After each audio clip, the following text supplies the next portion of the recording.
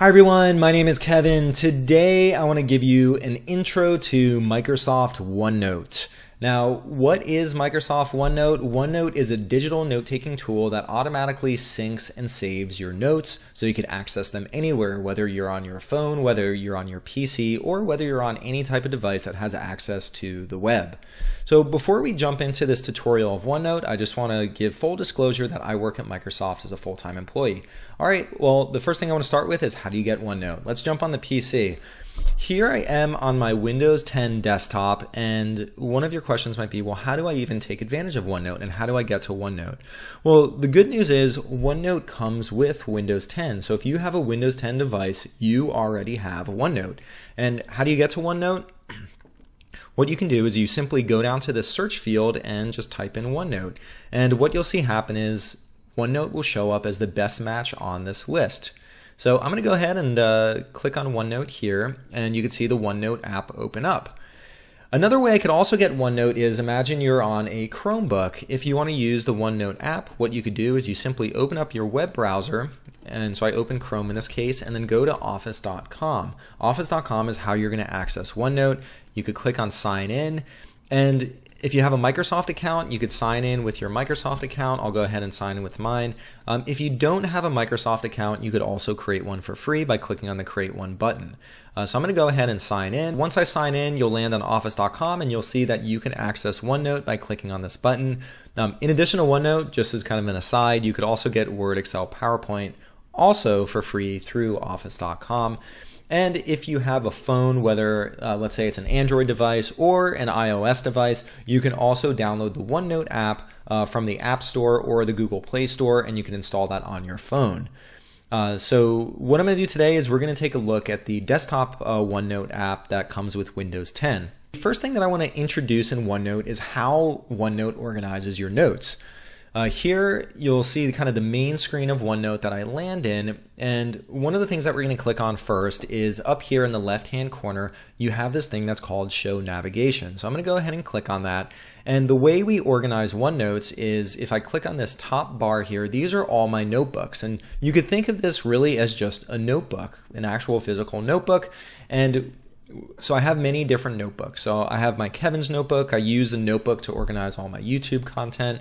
Um, I have another uh, notebook that I use to organize trips. Um, so today I'll show you my trip notebook as an example. If you want to add a new notebook, all you have to do is click on this add notebook and you could create a new one very easily. Um, so I'm going to go ahead and click on my trips notebook. And now the way that OneNote organizes it is so you have this big uh, notebook, and then within that notebook, you could set up what are called sections. And so just as an example here, um, you know, I have this trip notebook, and within there I have trips to Europe, and then I had a Paris trip, a Germany, Czech Republic trip, um, trips within the United States, and so I have a list in here, and then also trips to the Caribbean. And so each one of these is a section. And within that section, then I have something called pages. And so I'll, I'll just show an example with my Europe trip. So here under Europe, um, I had a trip that I organized to Paris, and then I had a trip that I organized to the to Germany and the Czech Republic.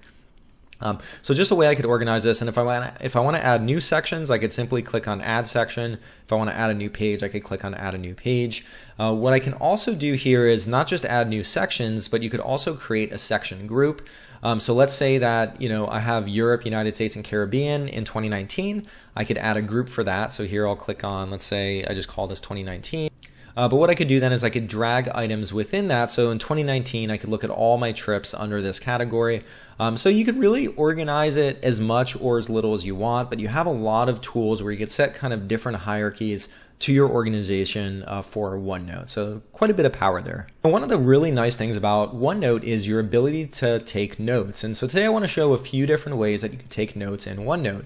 Uh, so what I'm going to do is just kind of give an example here. So let's say that, you know, I want to go on another trip and so I'm going to add a page. I just clicked on add a page down here and maybe my next trip that I'm planning is to Norway in Europe. So I'm just going to add a, a title called Norway. And so when I update the title here, it automatically updates the page name to Norway.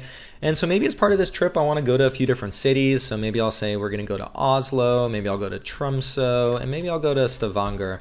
Um, as a few different cities in Norway that I want to visit. Now, what's nice is, uh, you know, here I could highlight the text and, you know, I could apply a heading. Uh, maybe I'll make that a heading too, and I'll make that a heading. But here, if I click under, you'll see all these kind of different heading styles I could do. So maybe in each city I have, uh, we'll do our activities, and then I have hotels. And so maybe here we do museums, and then maybe I'll say a bus tour. Um, so what I could do is I could apply different headings, uh, kind of depending on you know how I want it to appear. Um, you know, here I could change uh, font colors, so maybe I make this red. I could bold things, I could underline things. So there are lots of different ways I could format uh, my text. I'm going to go ahead and change that back to uh, just kind of a standard list. And what I can also do is, let's say under activities, uh, what I want to do is, let me apply heading two. So let's say that, you know, here's a list of things I want to do. I could also uh, I have this list here and I can make it a to-do list. So maybe, you know, here I want to make sure I check out the museums and I want to take a bus tour and then I could check them off as I do them. So you can make a list. So I could paste in photos. Uh, so here I'm just going to open this up and we're going to look at Stavanger and let's look at some images. Here's a pretty awesome picture of something I'd love to do if I could go on a hike while I'm out there of these people standing on a cliff edge looking down at a fjord. So I'll pull that into Stavanger and I copied that picture and then I could just paste it in. Along with just pasting in pictures, I could also record audio. Um, so here I could click on dictate. When we're in Tromsø, we want to make sure that we check out awesome hiking locations where we could look down at fjords. And what I can also do is I could record audio. So instead of just having it dictate, I could actually record. When I go to Tromsø, we want to make sure that we check out museums. We want to go on a bus tour of the city. I really love bus tours because it's a nice way where you can just sit back and really enjoy the sights. I could insert a photo and I could also do it from a camera. So here my computer is going to turn on the camera. And so there's my picture. Um, so it's very easy to pull in photos, to pull in text, to pull in audio recordings, uh, to dictate text to OneNote. Um, OneNote makes it really easy to capture content. Now, along with just capturing text and photos, what I can also do is I could draw. So if I have a tablet, in this case I'm on a desktop, but let's say I had a tablet, I could very easily uh, draw content. So here I'm just using my mouse. What I could do is I could I could choose different colors. I could go with blue or I could go with green. Um, I could insert shapes. And now what's kind of neat is, let's say if I highlight, let me highlight this uh, text that I just wrote in here. So, hi, how are you? And then I could do ink to text. And what it did is it automatically converted, it looks like it screwed up the hi, but it says, how are you? Um, so it was able to convert my writing to text. And you could also insert shapes. Uh, you could use different pens, uh, pencils, highlighters. Let's say, uh, you know, I want to do a yellow highlight on my content. I could go ahead and highlight stuff. So aside from just entering content in, um, I could also use an immersive reader. So let me click on immersive reader. And what that'll do is it'll open up a reader that'll just read the content to me. So here, So what that'll do is, let's say I have a page of text, instead of me reading all the text, I could have this immersive reader just read it to me. Now, one of the things that's really nice about OneNote is being able to get back to content.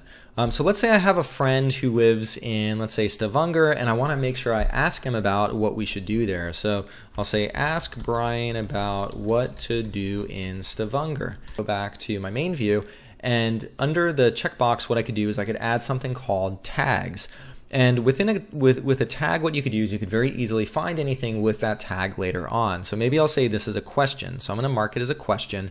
And now what's really cool is I'm going to click on search and what I could do is I could search for text that's in my OneNote or I could look for tags. So here I could click on question and this will show me all the questions that I have in this notebook. So ask Brian about what to do in Stavanger. So I can very easily then go back and find all my tagged items. What I could also do is if, let's say I don't remember where I called out Tromsø, I could just search for Tromsø. Um, and so here this page includes Tromsø and if I click on that, it'll just bring me back to that location. So being able to get back to notes um, is very easy, whether it's because I tag stuff or whether it's because I'm just looking for text in my notebook. They're very nice ways to get back and recall information. All of these notes that I'm creating, by default, all of these are synced in the cloud, and that means that I could access this on any device. So if I go on my phone, um, if I go on the web, I'll be able to see these notes uh, very easily. So here I'm going to open up my browser, and what I'm going to do is we're going to click into I'm going to click into OneNote and then I'm going to navigate to my uh, Trips notebook. And what you'll see is all of this content that I just created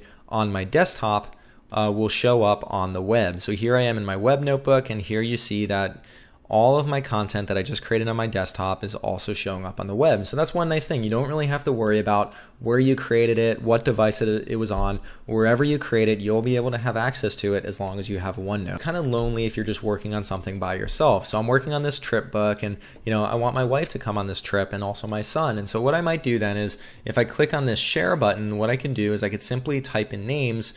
Um, so my wife's name is Carrie, so it's already shared with her. But if I wanted to, let's say I hadn't shared it with her yet, I could simply type in her email address and then I could either uh, make it so she could edit it or she could just view it.